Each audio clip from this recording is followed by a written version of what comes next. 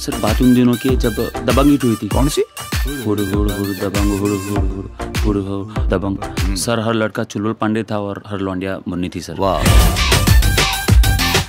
हम ऐस की चादर ओढ़ते थे सर और ऐसी की चादर बिछाते थे। अभिषेक क्या ओढ़ता था?